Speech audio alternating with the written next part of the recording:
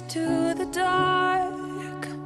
Hide away, they say, cause we don't want your broken parts.